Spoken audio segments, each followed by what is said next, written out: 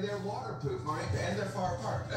Where'd you get those? We got our ways. You're not gonna tell. Uh-uh. You got a breastplate connection, I got girl. a breastplate connection.